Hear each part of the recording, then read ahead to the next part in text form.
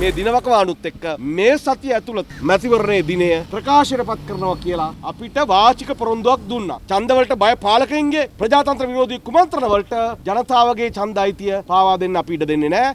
බලය ඉන්න අය බය රැකගන්න මැතිවරණ කල් දැමීමේ තත්ත්වයක් තියෙනවා. දින නියම කරත් අපට සැකයක් තියෙනවා පළත් පාලන ආයතන වගේ කුමන හෝ ආකාරයකින් මේ මැතිවරණ පවත්වන්න එක නතර කරන්න ඉඩකඩ තියෙනවා.